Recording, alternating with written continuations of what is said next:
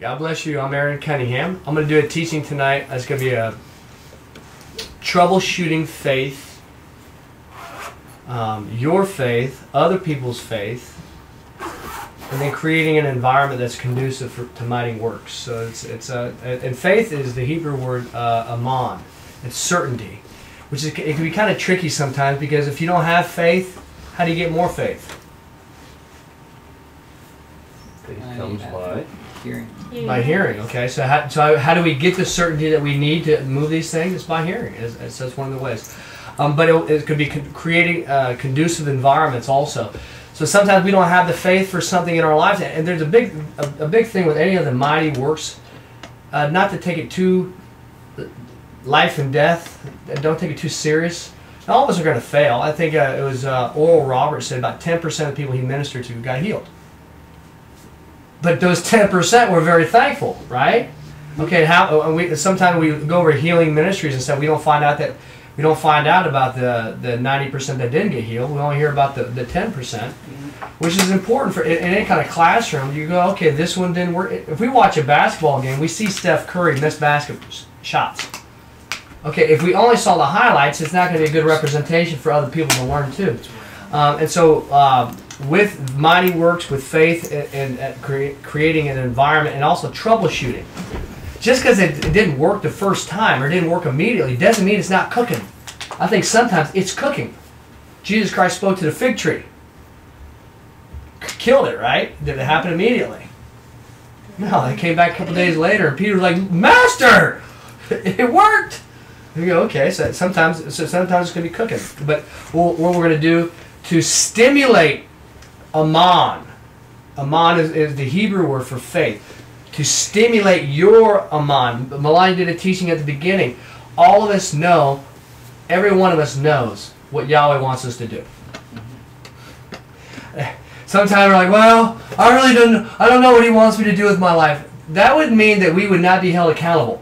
All of us know what we're supposed to do. We have an idea. You're supposed to go this way. You're supposed to stop that. You're supposed to start this or whatever it is that's going to require faith. Just like with Jonah, he knew what he was supposed to do. So all of us, even as a kid, you know what you're supposed to be doing. So the idea is how do we get started? And, and what we're going to be doing tonight is uh, um, I'm going to try to create an environment to stimulate your faith. And so this is going to be actually instead of me giving a testimony to somebody else, we're going to be hearing about somebody that actually got to witness a mighty work.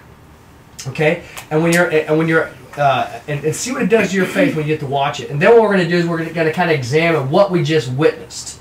Okay. That always reminds me of Wayne Gretzky with his comment that he said, "You miss 100% of the shots you don't take." Amen. I had young Carlos who'd been driving me around Fallon, and a woman brought a little boy in four years of age who was born with 26 diseases. He had no male organs on his body. He was born blind and deaf and dumb. His tongue hanged out of his mouth and lay on his chin. Both arms and legs were twisted together and matted together. The elbows penetrated into his little tummy. His knees touched the elbows and he had no feet. Clubs, you don't put shoes on clubs, you put shoes on feet. They mother brought that child in. I wrote the card out. I gave it to her in the afternoon service. I was preaching faith, and she was there all week long. But the card was never called. Sometimes we get in too big of a hurry. We run into church, quick preacher, lay hands on me. Bible says lay suddenly, lay hands suddenly on no man. Some people need to sit down and hear the word of God preached. And they need to get those preconceived opinions and them doctrines of devils that they have in their in their brain, and they need to hear the unadulterated word of God that God's not dead, but He's alive, and He's the same today as He was yesterday. That woman sat there with that boy three services a day. She came from another city like you.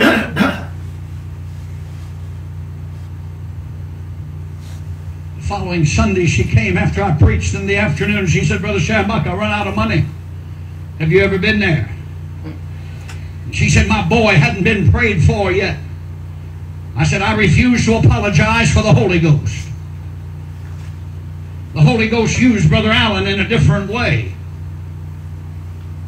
And every night he would minister, but it was in a different vein, and he didn't call the prayer cards.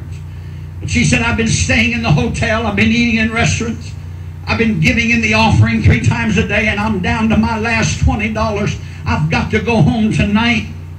Can you do something? I said, I can do one thing. If he don't call that prayer card tonight, I'll take that boy over to his trailer house and make him lay hands on that baby. I'll get him to the man of God. And I meant that. I would have done it.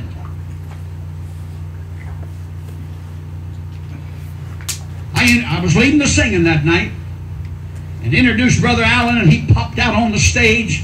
And he said, We're going to receive an offering tonight quickly. It's going to be an offering of faith.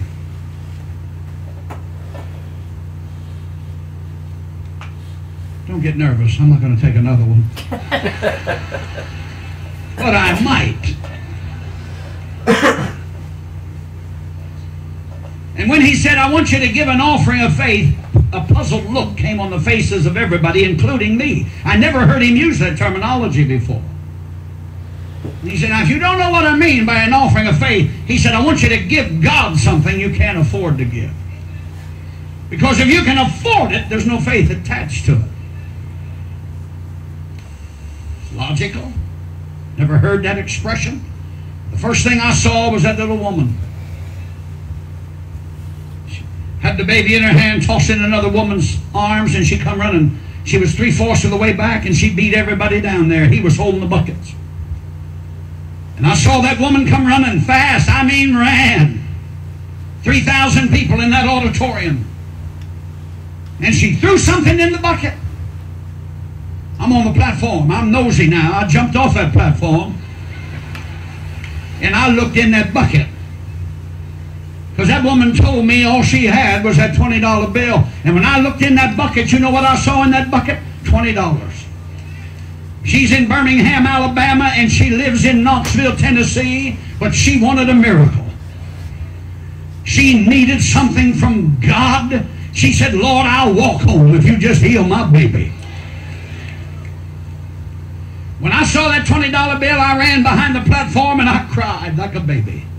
I said, Oh God, I've been trying to teach that woman faith all week. But I said, Oh God, give me faith like that woman's God. I don't know whether I could do that. You don't know whether you can do it unless you're in a similar situation. That man of God received the offering, started preaching. He wasn't 15 minutes into that service when all of a sudden he said, He said, I'm, I see a big building. I said, Oh Lord, here we go on another trip. this is how God used him. He said, It's a big old white building. I'm sitting there unmoved because I hear it all the time. He said, I'm inside the building now. And he said, I, Oh, there's no doubt where I am. He said, I hear all them babies crying. It's the maternity ward in this hospital. Said, A little baby was born. He said, I see 12 doctors around him. He said, That little baby was born with 12, 14, 21, 20, 26 major diseases. And when he said that, I sat up and I said, My God, tonight's that baby's night. Tonight's that baby's night.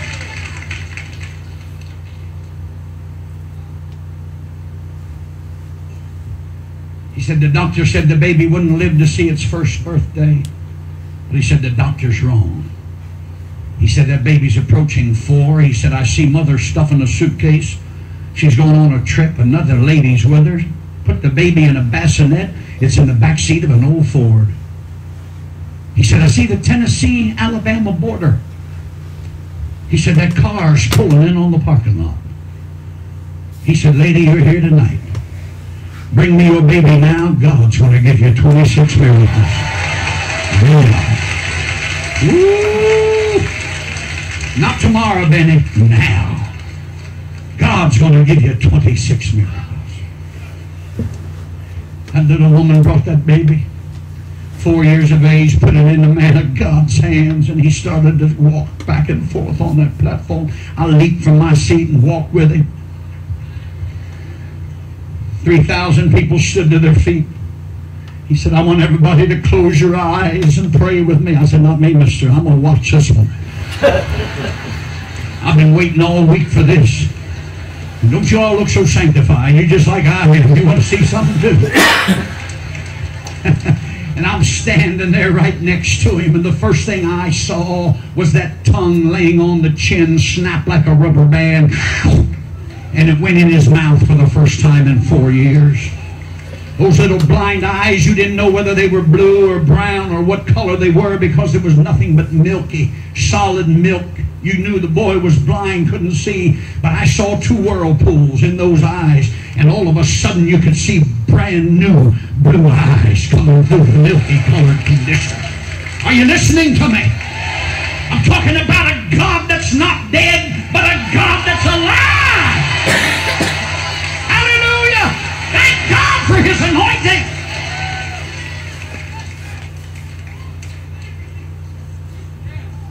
The next thing I saw was those arms and legs began to snap simultaneously as they kicked out for the first time. Standing there in front of those people, there's no shoes on clubs, those clubs were there. But I saw God create feet on that little boy's legs. I, saw, I used to buy my children, we used to buy them silly putty when they were kids. I don't know whether they have that now or not. But they used to make things out of that stuff. And it just looked like God was using silly putty to put a foot on the end of that boy's body. People's hands were raised. Some were fall, falling under the power. Some that didn't go down fell down. I mean, you were, we knew we were in the presence of an awesome God. Okay, yeah, no. Faith had nothing to do with this. This was God working in the midst of his people. This was a sovereign act of God. Mama standing over here on this side of the platform with her hands raised, tears streaming down her face. He put the child down. This boy never saw his mama, never spoke, never walked, never talked. And when he put that boy down, he took his first little steps. And when he saw mama, he ran after her. I'm running after him. He leaped into his mama's arms, wrapped his arms around her, and I heard him say his first words, Mama, Mama, Mama, Mama, Mama. We- We look at what with testimonies and crises inside of us. How, how long was that? Was that, about, was that four minutes? It's 13 minutes. It was 13 minutes? Okay. I it was like 13 or 14. No, Dad edited it, but so I just want to make sure I'm not going to go over time. We're, we're, with the testimony, Christ is inside you. And with some of the things we've already tried in our own lives, there's, there's whether it's healing, mighty works, walking on water. A lot of us want to walk away from it because it makes us feel vulnerable. But we don't know if there's a little boy like that that's counting on us tomorrow. Yeah. We don't know. And, and, and so some of the little things we're being called to do is building up to that. And when are you sure? I mean, wouldn't that stink if you found out that little boy was never healed because you didn't rise up? Okay. Well, I'm going to disagree with some of the stuff that he did say. He said this was not faith. I'd say absolutely was faith. What did we just witness? We witnessed a lot of different things. And then, and then I'm going to go into my testimony, so please remind me if I, if I get off track. As I'm witnessing, uh, witnessing and listening to this, I got to see lots of different kinds of faith, certainty. And that was the biggest thing he ever imagined. He, he, and, he, and in his opinion, this is just Yahweh doing something. And I would say, no. I got to see a lot of different stuff. Um, a faith offering is giving something that you can't give. And so a lot of times you want to find what you're supposed to be giving, possibly. It's what you don't want to give. And so whether it's money, whether it's time, whether it's your children, or what, whatever it is, it's that, that's, Yahweh wants faith from us. So none of this stuff happened until what? The minister, the minister got a word of knowledge. And we're, before I even go into that, Jesus Christ, one time, he went to a guy who was blind and he says, uh, rub mud or something on his eyes. Said, Do you see? He said, I see man as trees. That didn't work, huh? Let's try this again. It's problem solving. Did, did Christ have to produce faith? So he had to figure things out. So don't be so hard on yourself when you're trying to figure things out. What I believe is even on, when we're witnessing that right there, Christ is still figuring things out. And he's working through many people. Here's the head. Here's a group of people. Here's testimonies. How many days have gone by? I think he said three. Three days of what? Faith, certainty, a, conducive environment. Every one of us believers, when we go to a, a, a, a three day festival to Yahweh, what happens to your faith? It builds. It's so important for us to do something like that. Once, twice, three times a year, we do nothing but celebrate Yahweh and we're around believers witnessing. What does it do? So after three days of this, what else happened? Uh, think about it, it's like a, a cooking, a cooking environment. And then he gets a word of knowledge, do a faith offering, and nothing happened until that woman what giving the money that was giving the money what necessarily changed everything? No, it was what Yahweh told her to do. And Jesus Christ did that a lot of times too. What's going on? So a lot of times with the healing and power, with Lazarus, whose faith was used when Lazarus was dead. You can't use Lazarus' face, can you? There's a woman, a Canaanite woman, who came to him and says, "Please heal, come and heal my daughter." He says, "I'm not supposed to go to people that aren't Jews. I can't take the bread and give it to the dogs." And she says, "Yeah, but don't the dogs at least eat the, the crumbs?" What did he say? Oh woman, great is Faith. thy faith. Whose faith? So whose faith healed that woman? Hers. Was she an Israelite? No. Okay, an unbeliever. Okay, so whose faith? All right.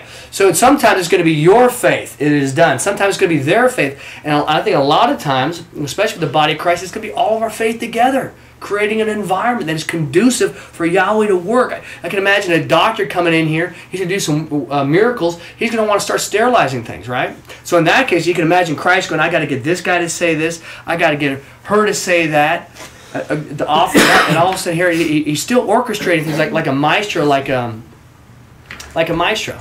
Here, here, need a little bit of this, a little bit of that, and sometimes we're like, I don't even think this thing is working. If you're being obedient, guess what? It's working. It's, it's working. So whatever it is, all of us are running from something, whether it's a healing, a mighty work, maybe it's confessing something that's on your heart that makes you feel really vulnerable. I sat here thir- you're 50, gonna be 15, 16, 15, 16 years ago, and Yahweh told me to say, "You go confess you're gonna shoot the biggest deer in all, all Parsons, Kansas." I was the only one. I was the only one going that wasn't a deer hunter. And you want me to do that? I had no idea that that was gonna be a part of you guys being born. Did you know that? I didn't know that. It's, it's a faith thing. Um, uh, now, uh, so troubleshooting your faith. Whose faith is involved? Sometimes it's going to be their faith. Sometimes it's going to be your faith. Don't give up. If you're being obedient, it's working, okay? And if you don't see a result immediately, it, always works. You, might not be able to understand it, but it always works. We're, we're sitting around, and Dad and I were, Dad was talking about radio waves, AM waves, uh, Wi-Fi, and Tim says Tim was a radio operator. He was talking. We're surrounded with all kinds of waves. You know that? We got Wi-Fi. We got Bluetooth. We got AM radios. Just do you pick it up? And, and faith is the same way. Receiving information, walking out in faith. Did you do your job? Yeah. Then then you can just say, I did my job, whether I see the results or not. Um, uh, let me see here. Now, um, now here, here's a. I, I never gave this testimony to anybody. I, I guess I never really gave this testimony accurately until I was in Africa recently. And thank you guys for all for praying because it went really, really well. Um, now here's one of my testimonies. We were in Estes Park, Colorado. I had a Bluetooth, but it was only on one ear. And everybody was shopping, and I was bored, and so I was just wandering around. So I went into a, I ducked into a sports bar, ordered some nachos, and, and while I'm running around, I don't remember where Rachel was, my my sister, but she was in Arizona, and she'd call me periodically. What are you guys up to? So she'd call, and I I'd answer, "Hello," on my Bluetooth, and uh, which is always kind of creepy with the Bluetooth. People don't know who you're talking to. Yeah. I sit down, and and, and uh, and as I'm talking to her, I notice that everybody else at the sports bar starts eavesdropping, listening in, acting like they're not listening, and then and then she hangs up. I'm watching a basketball game, killing time, eating chips. She calls back again, and as, as he, her and I start talking, they start listening in again. and I'm thinking, you guys are being really rude, uh, but maybe they're just as bored as I was. And then after like the third, I think guy called. He goes, "Where are you?" I said, "I'm at a sports bar." He goes, well, "We're about ready." I was like, "I'm not gonna. I'm tired of following you guys around. I'll be here until you guys are done." Okay. And uh, all right, then, then Rachel calls back up, and I'm sitting there talking to Rachel again. These people are, are listening. I'm like, hey, if they're gonna if they're gonna be eavesdropping, I'm gonna have some fun this time. So, so here, uh, hello, hey, what's up, Ray? Now doing great, blah blah. She goes, where's Dad? Dad's over here doing this. Now the weather's great. There's no rain. Yeah, okay, all right. And she goes, okay, talk to you later. This time I didn't say goodbye. Oh, ok. Botulo PVT. Tudo śpiewek indyry, manos. Ta, batara by wieczór bukanie tej boczcie. Ta, ha, ha, ta, boczcie PVT. Hung up and act like I didn't even look. Knowing all these people were eavesdropping, I just started speaking in tongues out loud. Uh, uh, then I hang up. I'm sitting there going, you know, might as well have fun. What? Now, do you know what happened next? As I'm sitting there, a very built athlete with a shaved head, military style, walks up to me. Goes, "Hey, how you doing?" And I said, "I'm doing real good." He goes, "So where are you from?" I said, "I'm from Kansas." He goes, "I don't, I don't remember where he was from." And he and he goes, "So you you in the service?" I said, "No, I'm not in the service." I was wearing an army hat that Rachel had given me. I assume that's what that's what. No, I'm not in the service. My, my baby sister's in the service. I, I'm a sissy or something like that. He goes, "Hey, I want I want to introduce you to somebody." Come here for me for a second. I'm like, uh, so I get up and it's like an L-shaped bar. I'm, I'm sitting here. They're sitting over here, and he walks me over. And here's this older couple. They look Middle Eastern, but they don't look like like angry Middle Easterns. They look like they're Christians. And he goes, "This is my mom and my dad." How you doing? It's nice to meet you. How's everybody doing here? We started talking this and that. So then they, they, they start speaking a different language. I don't know if they're talking back and forth. They're kind of arguing. And then and then he found it. The mom and dad are sitting here, and this guy's sitting here. And the guy goes, "Hey, you, you weren't in the service?" I said, "No." And then, then he goes, "My dad wants to know how do you know Farsi if you weren't in the service?" and then they go back and forth again. And then his dad goes, his dad goes, "The only white people that know Farsi." Or in the service, because why would you even learn this language? Is that Kuwait or is that Iran? I forget which. It's, it's mostly Middle Eastern. Yeah, it's one in one of these areas, and I go, I go, excuse me, you heard me saying what? And I was, speaking Farsi, and then he, I don't remember the rest, but it was some some sort of dialect. I don't know if there's more than one dialect or something like.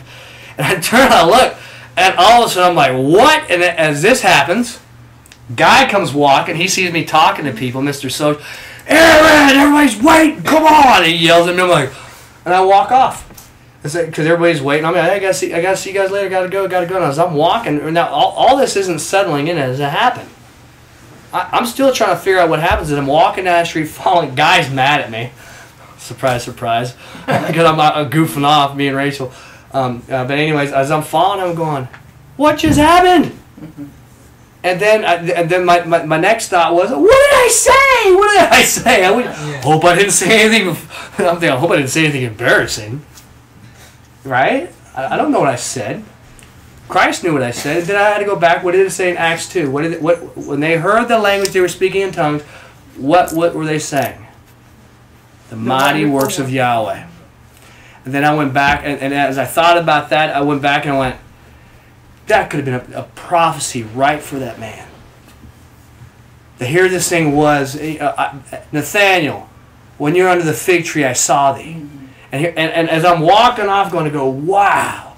So testimonies are real important. When I went when I went to go meet David, uh, David Remy, one of the things that I wanted, uh, desired so badly, was to be a part of a mighty work for somebody else. I'd done stuff in my own life. I've had healing, incredible healings and things like that, but I've never been able to walk up and say, "Get up," or, or "Be sing," or or "Peace be still." When, when it was an instantaneous, and I had this desire that wouldn't go away, kind of like me in the weight room, also when I was younger. And David was seeing these, these things were happening in David's ministry, and I prayed about it, going, I, I, "If this isn't real, let me know." But if it is real, I want to pursue this thing. So one of the first things I wanted to do when I, when I, got when I flew to meet David, as we sat down, is I said I want to I want to know how this stuff works. I you know I, how, how, do you do this? How do you do these things? And I went I, so then I went on a monologue. I want to know how you do this. I want to know how you do it. How, do, how do you heal this? And how do you heal this? I'm, I'm thinking, okay, cancer is this one healing. Makes sense. Broken bones is going to be this type of healing, right? How about uh, blind people? How do you heal that one? I need to write this stuff down. I'm thinking there's formulas. Yeah. And as I got done talking, David, David, he said, "Aaron, I, really wish it was that easy, but it's not. It's never that easy." And he goes, "Most of the healings that I, this this just gives you a good idea about David Remy." He goes, "Most of the healings that I got to be a part of, it was their healing, not mine, or it was their faith, not my faith." And that's not what I wanted to hear. I wanted him to give me a, a formula. And, and then when I got to learn for that first week, or the, the first week that I was in Kenya, it wasn't just their healing or their faith. There was a formula that was produced to raise their faith. Mm-hmm. It started with the music. So they do open air meetings. There was music, praising Yahweh, singing songs, a short teaching, praising, singing songs. These environments that I was talking about earlier. And then it'd come in with one or two testimonies. Somebody come up here's got a testimony. Who's got a testimony? Who's got? Does anybody have a testimony that sh- a short one they can share right now? A wonderful thing about testimonies is they start cloning. As soon as you hear one, you, I know you guys got one. That's how it works. Because you start, you hear a testimony, and guess what happens inside you? You're like, I got one. Oh yeah, I got one. And then we start talking about. That's what's so great about, about doing family road trips with believers. Because one testimony here, that reminds you of this, and all of a sudden they start multiplying. But then I got to see not just that, but then one of the things that David did which was unique, not just bringing up the testimony, not just getting the music together, not just getting people to do what they're supposed to do, praise Yahweh, be anxious for nothing, but then he'd get a word of knowledge, just like this guy, A.A. Allen. There's a woman here. And, and, and, and, and that was probably the final piece. If Yahweh told you to get up in a church service and say, There's a man here, would you do it? Maybe we won't get to that point, but we should at least be thinking those things. Going, to help me get to that point. To stand up. I, we, I just got to see, see a really neat testimony. I don't watch the NFL anymore because they're ashamed of our country. Feel bad for the Christians that are in the NFL. But Derek Carr did one of these things. That somebody called him out says if you're uh, uh, something about commit to be a real Christian, that means you listen to him when he tells you to do it. You do it no matter what. And, and I don't remember the whole testimony, but Derek Carr said, "I'll do it." And the guy goes, "You think about it before you say you're going to do it." He said, "I'll do it." And the testimony was he, he was at a church service, and all of a sudden he got a word of knowledge that there's somebody there that's going to commit suicide. Then he got a word of wisdom, asked for the microphone from the minister. Would that make you comfortable? Word of knowledge, word of wisdom, and he did it. He says, um, Hi, there's somebody who's going to commit suicide. The guy comes up, I'm the guy. And, and then he got the minister to that guy. So we got to get to those points. And then the idea with all of our life is obedience. Forget about the results for a second, okay? Forget about the end results. And especially when the end results that you think don't happen. Who says you, it didn't work? Maybe it didn't work the way you thought. Who cares what you think? Obedience. Obedience, obedience. If you tell me to do it and I did, I did my job. Obedience. Let him let him to, to take care of all the rest. And this was a transformation we got to see with Peter. Peter, quit looking at yourself. Look at me. And when he tells you to do something, look at him. If he tells you to do it, and then rejoice. I did my job. And it, it could be laying hands on somebody, or, or it could be a word of knowledge. You are healed. It could be, I believe this, and whatever these things are. And remember, that if they're believers, Christ is already inside them. He'll stir the pot. And so get these things moving. Um, we'll turn to uh, Mark 9, 17, 29. So it's really important for all of us to practice these things because we don't know when our number is going to get called. We'd like to think um, there's always going to be somebody here that's going to be able to do the mighty works. But what if it's going to be our child that needs the mighty works next? What if it's going to be somebody struck by lightning and I've never practiced any of these things? You're up. What do you mean I'm up? You've never practiced any of this? You're up.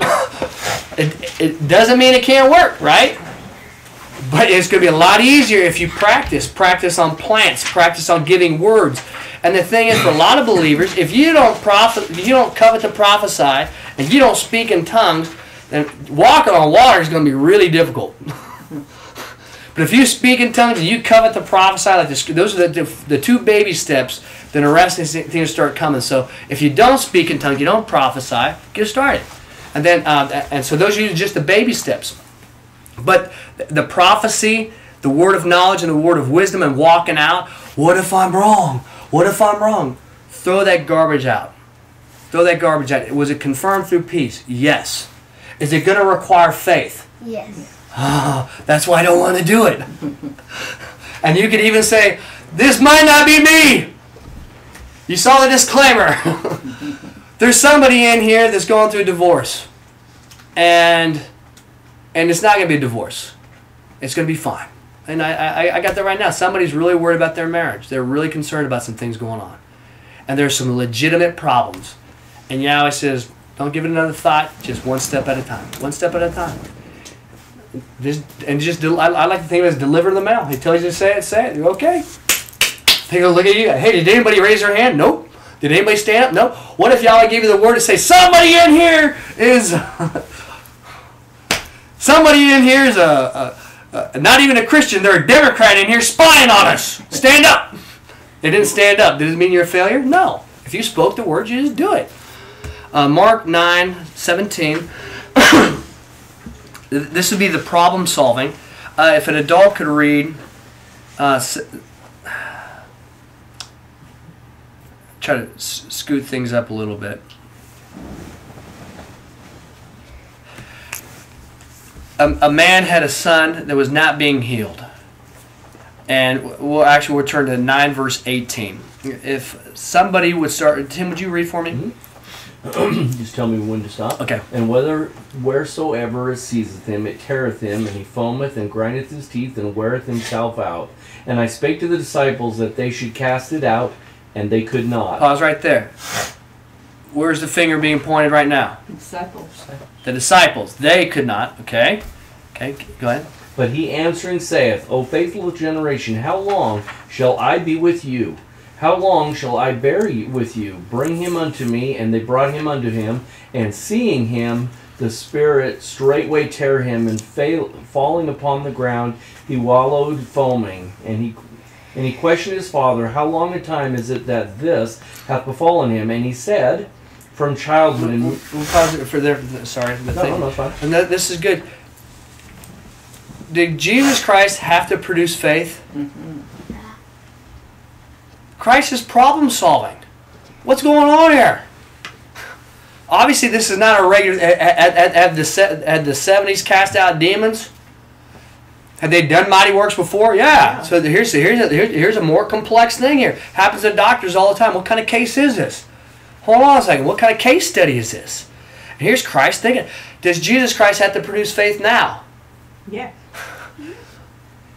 So sometimes I think of him at, at the right hand. He knows exactly what's going on. He, he's still figuring stuff out. So if you have to figure some stuff out, don't be so hard on yourself. How is it? How what's going on here?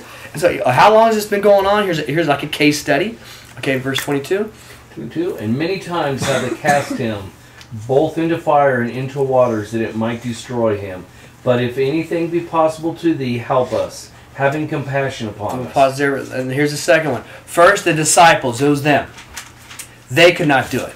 The second one says, uh, the second part of verse 22, but if anything be possible to thee. God's in control. He can do anything he wants. You, you guys ever hear that? God is in control.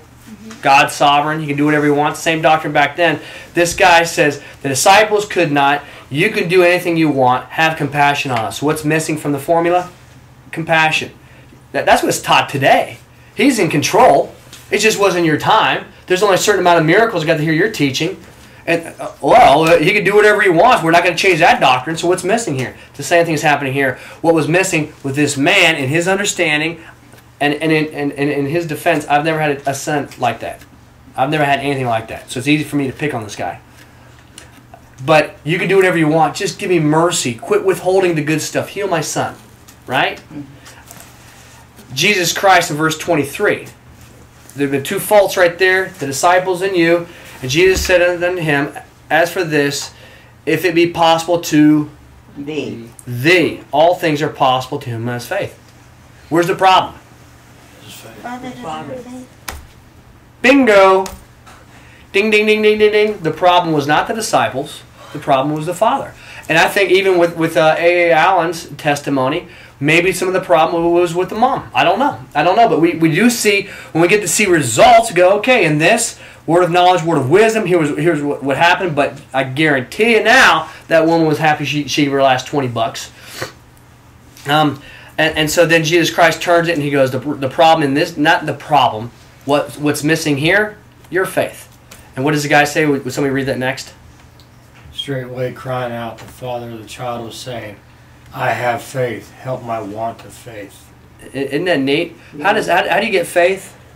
Hearing is spoken. Hearing. Romans 10 17. What does he say? I have faith. You know what? That's a great response. I have faith. I need more faith. Mm-hmm. And cry, bow! Kids delivered. Isn't that neat? If we got to see that in a church, it would look like Yehoshua. You're being really hard on the guy. Look at his situation.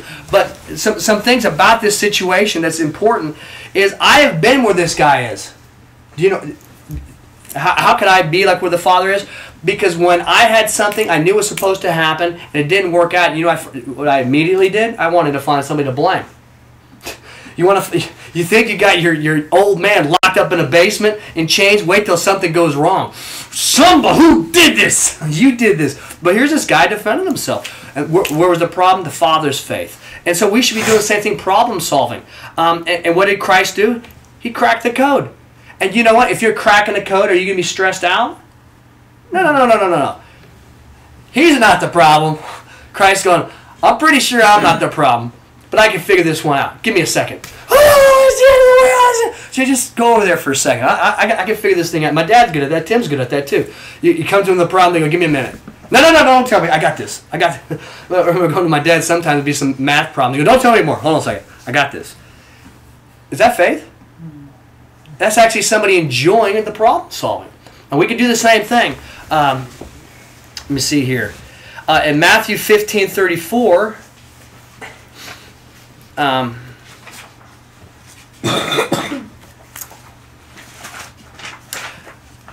yeah, if you guys turn there real quick. So what, what was missing with the father? It was the father's faith needed to be lifted up. Um, uh, sometimes there's miraculous things, instantaneous, immediate. But did golly, think about this little kid. Uh, Man, wouldn't you like to? Wouldn't you like to see pictures of him as a grown adult? Did he have kids as an adult? Do you think he's four years old? and you remember that? I don't remember when I was four years old. Maybe a little bit. Golly, how about the guy who laid at the gate beautiful? Did Peter have any idea what was on the line with that man? How old was he? Was he 40? I think it was 40 years. 40 years! 40 years! Oh my goodness, when I hurt my back this last spring, I couldn't walk for like six hours. 40 years, man. And then can you imagine, can you imagine John and Peter going to sleep that night? Have you ever, you know, all of us have got to be a part of almighty work, whether it's a prophecy or something. The hunting's a good one. And you go to bed that night, how much peace do you have? I got to be a part of that. What do you think it was like for Peter going, John, John, wake up, wake up, wake up. Did you see the look on his face? Oh my goodness. Oh man, that's great. Who cares what the Sadducees and the Pharisees think? Who cares what they think? Look at that. And if that was just a one thing, and, and, and when Jesus Christ was calling Peter, now Christ still had to cr- pr- uh, produce uh, faith. Yahweh is, is got an understanding that it's like an ant trying to understand us. But could Yahweh possibly see that man when, when, when, when he says, uh, when Jesus Christ was picking Peter? This guy is really counting on you, Peter. How many people are counting on you guys right now? Yeah, I think it'd be a good idea every once in a while when we do get peaceful to say, "Give me a vision of who's counting on me." Is it un, is it is it somebody who's being molested? Is it somebody who's going to die in a car accident? God forbid. Is it somebody who drowns? I don't know. And, and uh, give me a, give me a, a vision or give me something that's going to stimulate to show me to get out of my boat and, and stop being so afraid of failure and start being more concerned with obedience. Because Je- if, if Peter didn't walk on the water, he would have sunk, but he could swim. But so could all the rest of the guys in the boat. Only one got out. Um, so it's, it's just a. Um, uh, there was, uh, Matthew 15, verse 34. It's, uh, Tim, would you read that? And Yehoshua saith unto them, How many loaves have ye? And they said, Seven and a few small fishes. There's okay. So here's another mighty work. What's the problem here? Money and food. And what did he do? He goes, "What do you got?"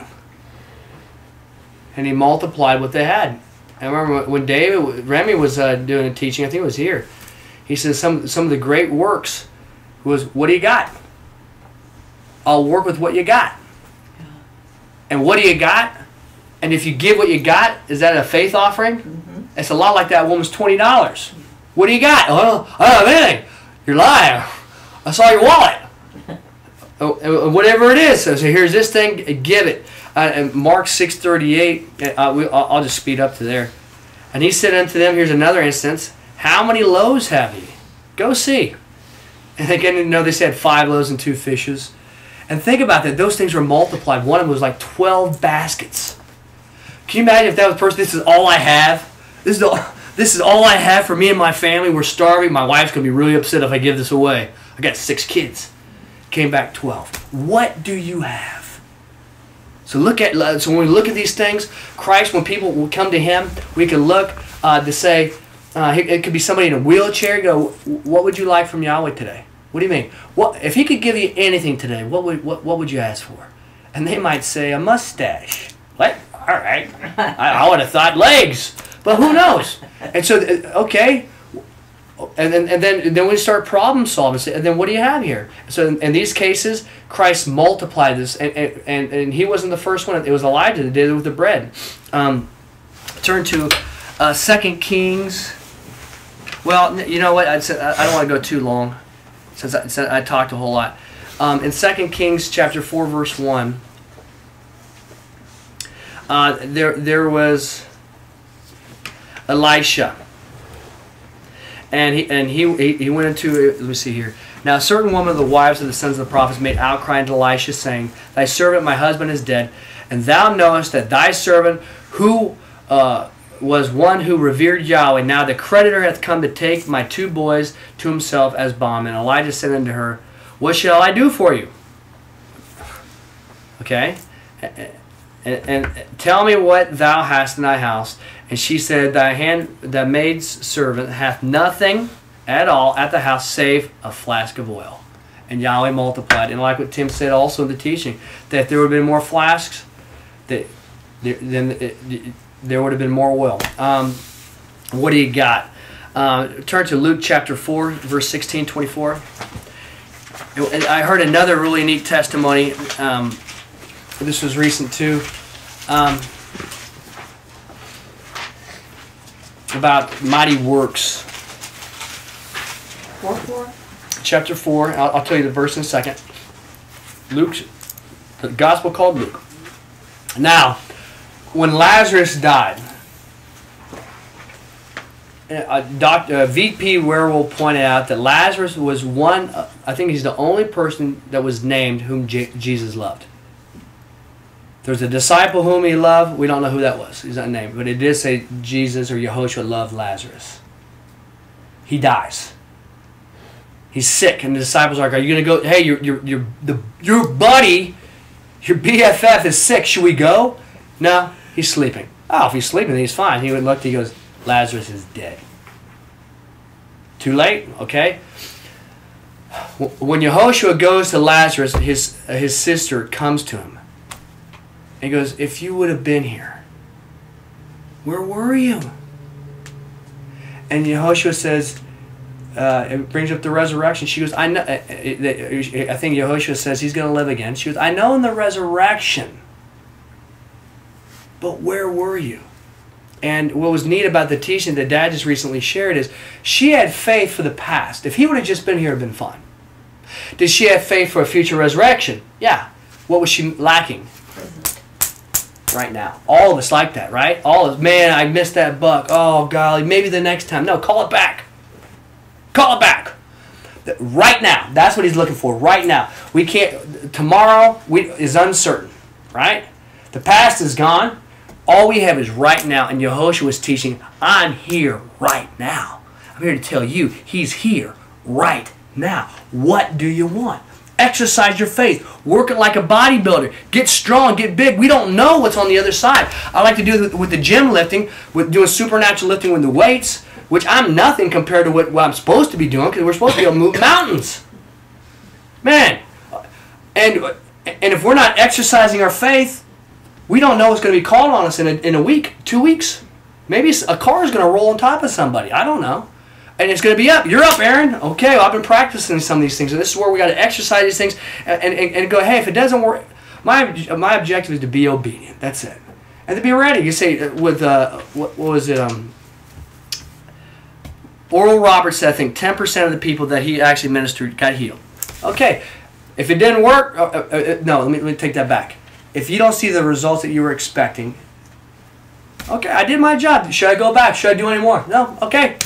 So you got, I got to get going. Do your job. The same way, and what, what that actually is, that's actually more faith. Um, Luke chapter 4, and we're read verse 16 through 24. Um, who would like to read on this couch, on the gray couch? Ooh, I will. Okay. The 16 to 24.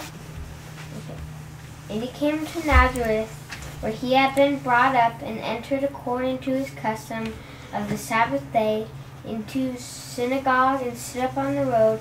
And there was handed to him the scroll of the prophet Isaiah. And unfolding the scroll, he found the place where it was written, The Spirit of the Lord is upon me, because he hath appointed me to tell you glad tidings to the destitute. He hath sent me forth to proclaim to captives a release and to blind a recovering of sight, to send away the crushed with a, a release, to proclaim the welcome year of the Lord.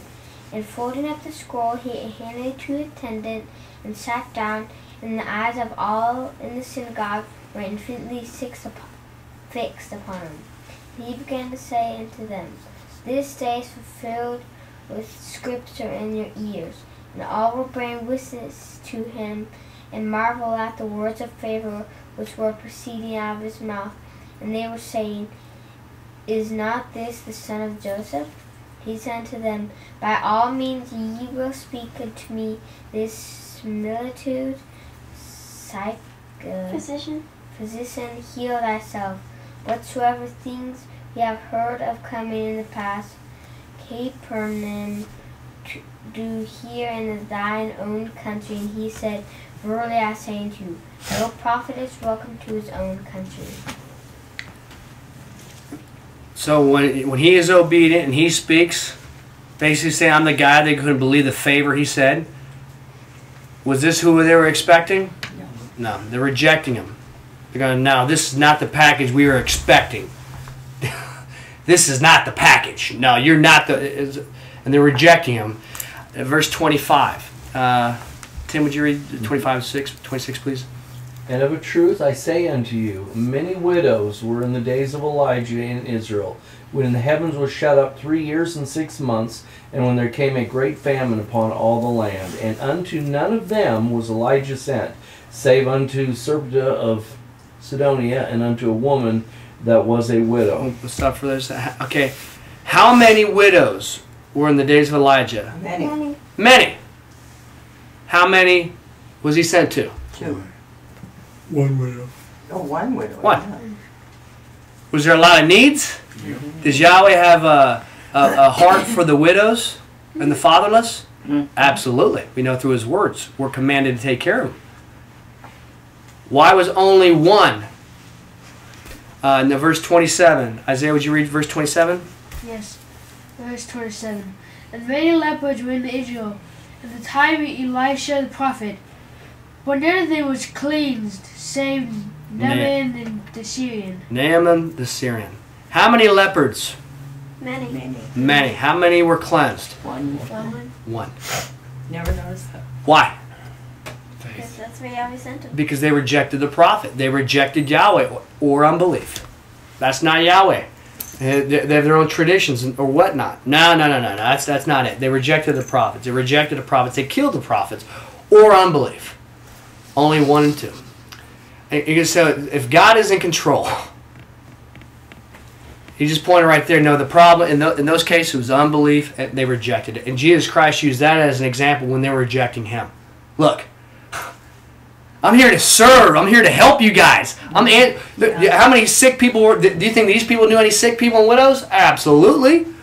But if you, but if you reject the messenger, and so we see. So what what so what happened with Jesus Christ? Um, he said it, uh, it was the same with Elijah and Elisha, which was neat. With it shows both of those. People rejected Yahweh. They rejected the prophets. Um, and do the same thing today. How about speaking in tongues? How about prophecy? No, it's gone. How about Yahweh's name? What's the name of your God? Don't, even say his name. Um, you know, and, and then then if you if you come if you don't start teaching according to their their their oral traditions, um, then that, that's going to be hard for them to believe. But you know what? Yahweh is even greater than all these things because we can still do mighty works, and we're supposed to. And one thing we're supposed to be able to do is to set set ourselves apart is the Apostle Paul said, I did not come to you with great words and eloquence, but in demonstrations of power. For those who were just deceived, who didn't know, they go, I don't care who you guys are. I want that. Dad was talking about that today. Simon the sorcerer. he gets saved, and then it, then, then it gets like a curse on him. He goes, Oh, pray for me, pray for me. what a heart. Yeah. Right? And that's who we are called to. They're just two people. Can you imagine Elisha and Elijah? Man, if, if, if I was a prophet, you see lepers everywhere, wouldn't you want to heal them all? Yeah, you'd have a, desire, but he was only sent to, only Naaman. So sometimes we'll see people that aren't being healed, and we'll look like maybe I should be doing something. Not necessarily. Uh, uh, it says, uh, let me see here, turn to 2 Peter 3 9. And this is where we should have a footnote with 2 Peter 3 9. Uh, we should have Luke 4 25 and 26. Because they're saying God's just trying to teach you something, or there's just only a certain amount of healings. Uh, and we're going to say, wait a minute, what about Elijah and Elisha? Why weren't many widows healed? they try to kill these guys. You ever heard of Ahab and Jezebel? Yeah. And uh, Jesus Christ, what, what did the Jews do to Christ? When he went to Jerusalem, they murdered him. Um, chapter 2, verse 3, verse 9.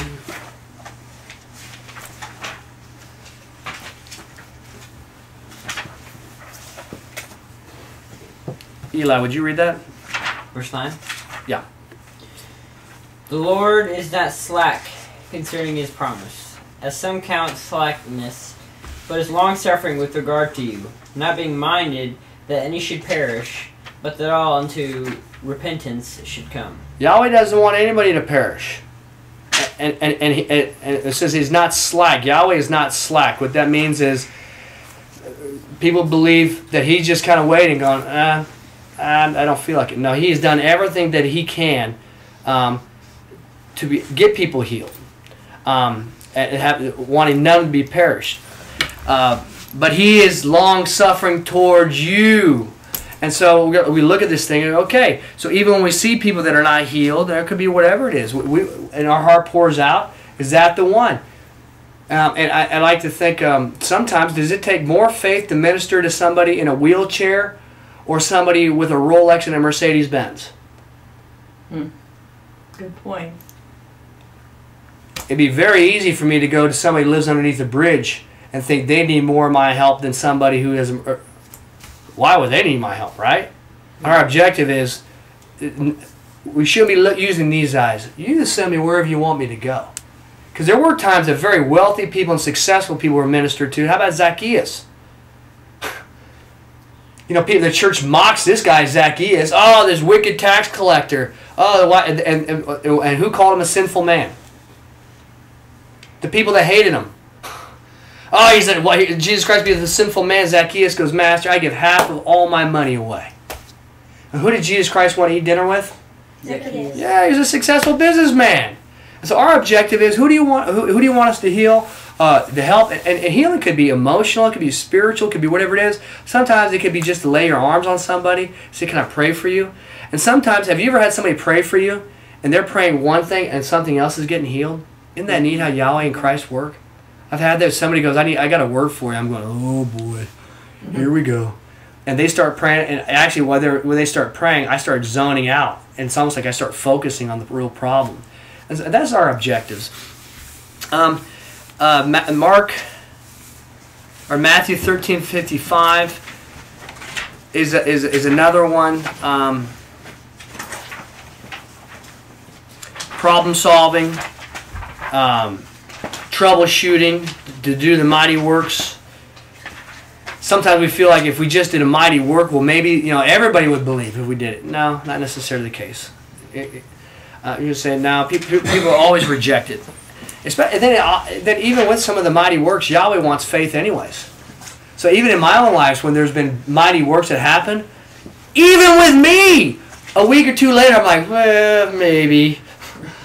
I start justifying things. Well, maybe this happened. And I got to say, nah, I'm, you know what?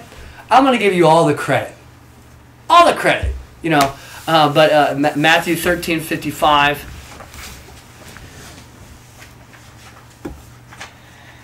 Mel, would you read that?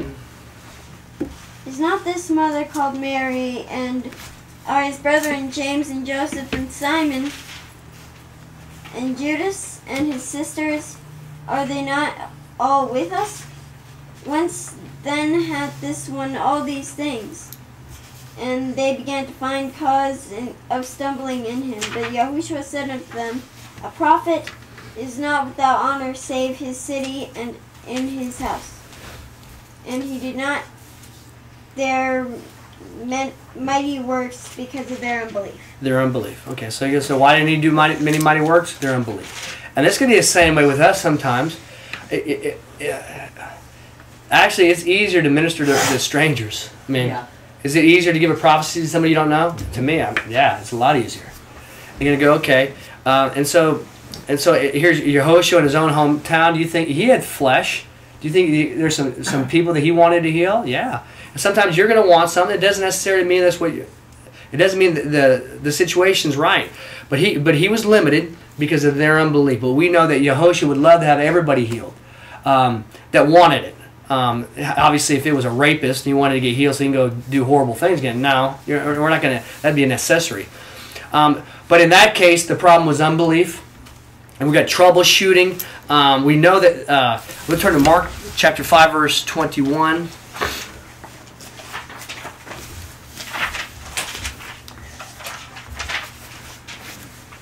Page 99.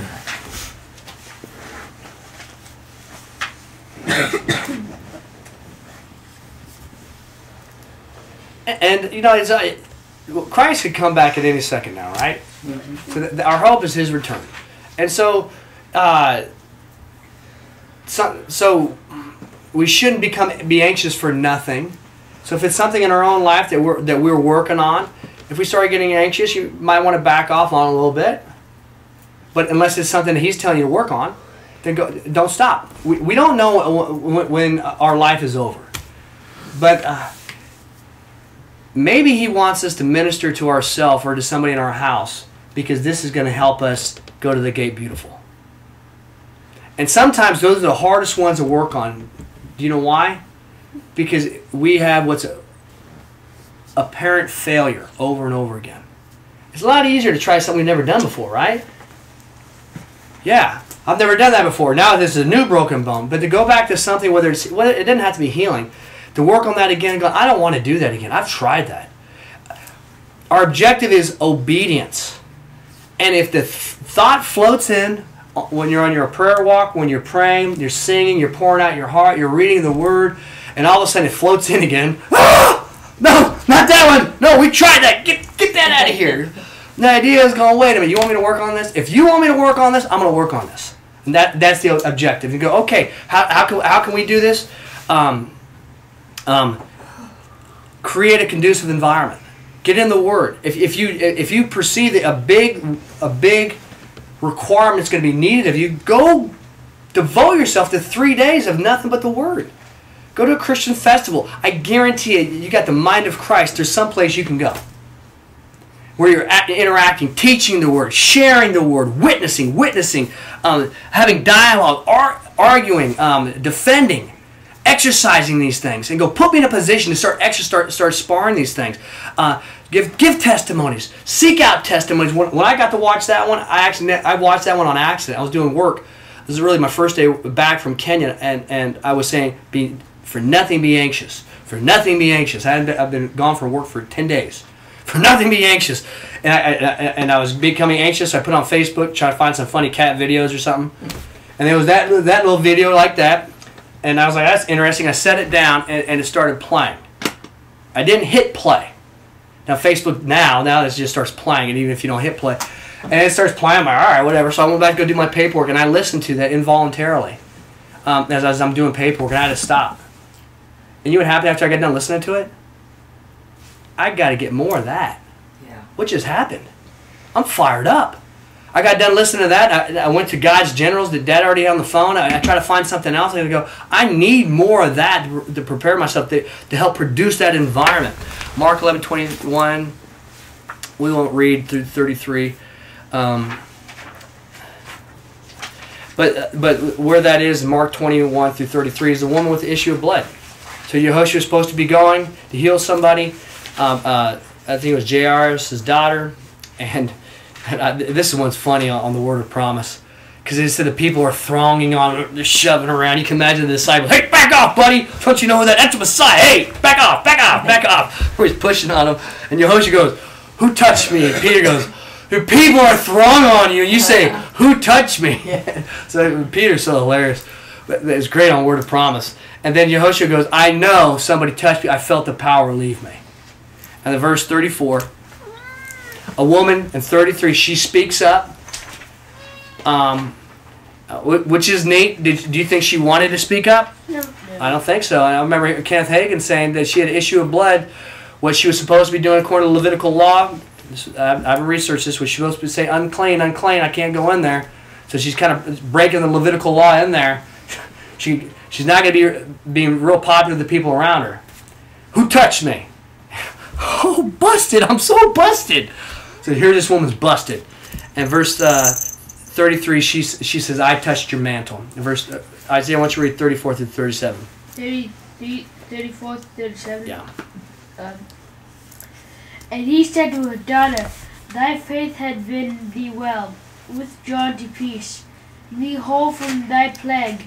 Or yet he is speaking, thy come from the synagogue ruler, saying, Thy daughter is dead, why further annoy the teacher? But Jesus, overhearing the word being spoken, saith unto the synagogue ruler, Do not fear, only have faith. And he suffered no one to follow with him, save Peter and James and John and the brother of James. Okay, so there's two neat lessons right there. Uh, we read earlier in Matthew 13:55, he couldn't do anything because of their unbelief. In verse 34, whose faith healed this woman? Hers. Her faith. We should be ready to say, Your faith has made thee whole. I, I don't know if I've ever said that. We should be ready. If we get a word of knowledge going, according to your faith, be it unto you. And maybe that's the finishing touches. And y'all be ready to do it. But it was her faith.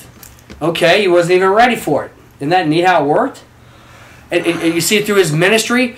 He, he's, he's built a reputation. All of us should build a reputation. That is not a normal person. They speak weird. They say Yahweh. They speak in tongue. They speak in tongues. Interpret.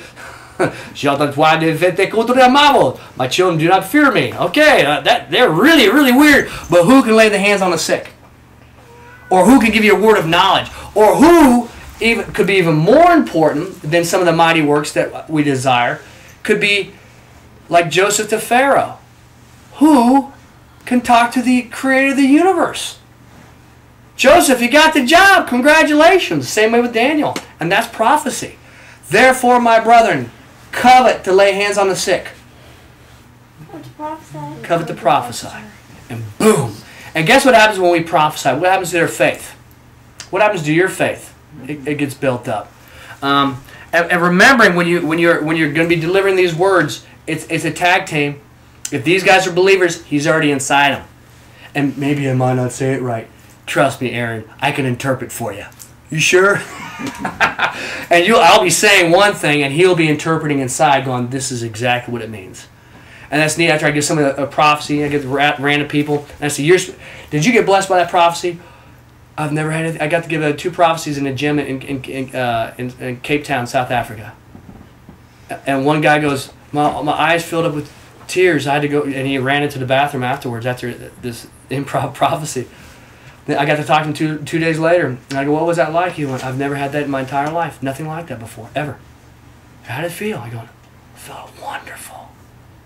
I go, Too much is given, much is required. You are obligated to do that same thing to other people. Well, how do I do that? And I got to go on. I said, Did, you, did I have to explain what was right or wrong?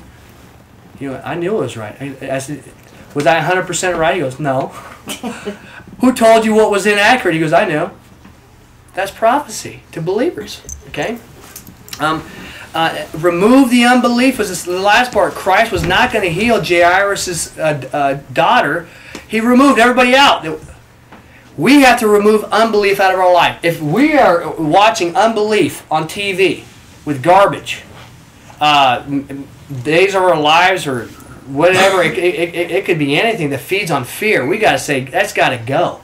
Why? Unbelief's got to go. Christ cannot do many mighty works of un- because of their unbelief. Get rid of it, whether it's in the environment. We can look in here. You guys got to get out. I need to talk to this person alone, even if it's going to offend somebody. Um, a neat thing with this, with other people's faith and believing, when I was in Kenya, the first time I was there, David put out flyers that uh, that a mighty man of Yahweh is coming. Expect big miracles. I never talked on live camera. I never done anything like this. Or, you know, and I was to be on stage with a microphone. Oh man, you guys should be ready. And, and guess who was calling me out? Yahweh was. And then as I got ready to go on stage for the first time, I'm going with a microphone in the middle of like a jungle. You know what Yahweh told me through Christ? He goes, Aaron, quit stressing out. They don't care about you. They don't want to hear from you. They don't give you one thought. They're here to hear me. Me. It's all about me, okay? Oh, okay. So you just be a conduit.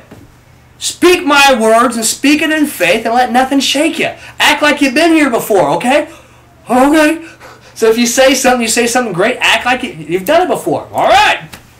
So he's prepping me. I'm like, okay. So I got to do a little testimony, do a little teaching. It was, it was probably very, very poor um, because uh, I was probably I was talking about how far I'd come all around the earth just to see them. Y'all already told me they didn't care about me. Uh, anyway, I get on stage, and, and after this revival, um, the, the, sun's gone down. It's dark. It's very, very dark. There's no lights, and people start lining up in front of the stage. I don't know what's going on, and, and, and David comes to me, and uh, and I was in an environment that was conducive for faith at the time. For what's called faith is certainty. You need to become more certain on something. Speak it. Create an environment. Remove unbelief, especially if it's TV or uh, Facebook or whatever and he, he goes, okay, Aaron, I'm going to minister to these people. They need healing. You go minister to those people. I went, right. okay, then he turns around, walks off. I turn, and there's like three interpreters, and there's four people to walk to assist me. They're looking at me like, you ready? I'm like, yes, I am. I'm re- ready to go. I'm like, oh my goodness. And I'm like, oh my goodness, here's all this. I got, I got like this little posse with me. And and uh, but I've been thinking about what did, what did Christ do? And here's this woman. She's wearing a she's wearing a suit from probably 1945. It's covered in dirt. Very poor. And uh, the interpreter says, uh, it, it, it, and he goes, "This is this woman wants to be ministered to." And I go, "Ask her what she what's wrong." And and the interpreter goes back and forth. Uh, he, he, said uh, she said that she's got a problem in her throat and she can't she can't eat and she can't swallow and she and the doctors can't do anything for her. So I was doing something different than ever. So then I said, ask her what she wants me to do. I, normally, I am just going to lay a hand and pray for that. Okay. And then he asked her, and she goes, and she, and then he asked, "What do you want me to do?" Sounds like somebody else, right? Because uh, before this, Christ was going. Christ didn't lead anybody. What do you want? What do you want? What are you looking for? Uh, even the blind guy, oh, Master, son of David, have mercy. What do you want? Um, let me think here. What can I ask for? Uh, uh, how about eyes? but he asked, and so here was the same situation. I go, what, what, what does she want? She wants you to pray for her. Then, the response, then I responded again. Does she believe that I that I that, that she can receive healing through me? Uh, and then it came, okay, I guess we're going over and and and, and he said she did. She said yes. And as soon as I touched her, she collapsed on about six different people. And that was her faith. or something else. We'll go and wrap up. Thank you. How long was that? Hour and ten minutes. Yeah, it is eight nineteen on that clock. Well, we, I know we started late. So, okay. Good job,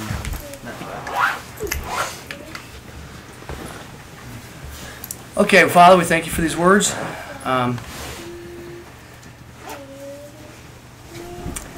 do not be fearful and don't be so hard on yourself. I assume all responsibility if you're obedient. If you're obedient, I take care of all the little things. What I want you to do is separate yourself from the confusion, separate yourself from the unbelief, and you've really got to separate yourself from the relationships that, that keep holding you back. You know what you're supposed to be doing. Be following me. I'll take care of those people and stop letting them be the excuse why you don't follow me. Be following me, and I'll take care of all the rest of these things. And it could be the reason why these people are not being healed and not being taken care of is because you won't leave them. Wow. Shakondwa, masanusha ne kotsanoi no, shamalesha ne shukaisano. Basanish kosane, ramasi noshanoi. Kosanasha noi no mala goshamano, kasanisho dai. Ushanese koya no, brahma yuma yushi. Basaneko, banakash noi, katakata. My children, do not be afraid or fearful of anything. Because I am bigger than that, and I am bigger than them. And um, you must always remember whenever you need help, just ask. Whenever you're afraid or need help or can't figure something out, just ask. Be seeking, be knocking for. If you have faith, I will always have the answer.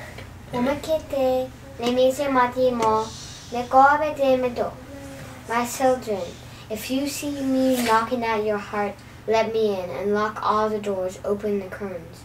If you see the adversary, lock the doors, close the curtains.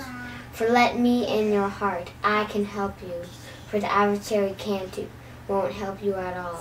My child, follow me, so you will have what you need. Amen. Ndishine shinamana kieshe dukati indati mana kati shinamana jin. Shinlo loto shino shimana nane ina kajia mana tazura konan. If you have the faith of a mustard seed, you can move mountains, as I have said. So have faith bigger than a mustard seed, and you can do unspeakable things. Things beyond your imagination, beyond the imagination of a child. Have faith bigger than a mustard seed, and you can do things, amazing works. My children, stand out. Like in the giant, when a giant snow, there's thousands of snows. My children, stand out. Don't be the snow that's just one ginormous pile and ev- everything's white. Don't be the people that want to hide in the crowd. My children, stand out. My children, to stand like me, to stand like us is a, we must stand alone. It is a very small group. So stand alone and don't chase um, others. Amen. my sons and daughters if if you had if you have something that it was squeaking that you would oil it. And if you had things that were if you had water or or fluid on your floor in your room that you would mop this up. The same way i call you to be tending to the things that i've been given to you that that as you see these things tend to them and do not put them off for as you put them off that it, it creates more work for you and it, it it burdens you and holds you back from things and blessings that i am willing to pour out upon you Sigene ya. Men borko men borki tiale be kwan shuria. Mera peros. Once again, once again, I am here to speak to you. I am here to build you up and I am here to encourage you, but I'm also here to comfort you. And know that as you walk out and you do those things that you were afraid of, never forget that I have my arms wrapped around you. And because of my son and what's available through the Holy Spirit, Where your feet go is holy ground. Don't doubt yourself. Put your faith in me, not in you, but in me, and I will guide you where you desire to go, and I will give you the strength, whether it's physical or mental or spiritual, I will give you the strength to enable you to do the things that you want. Amen.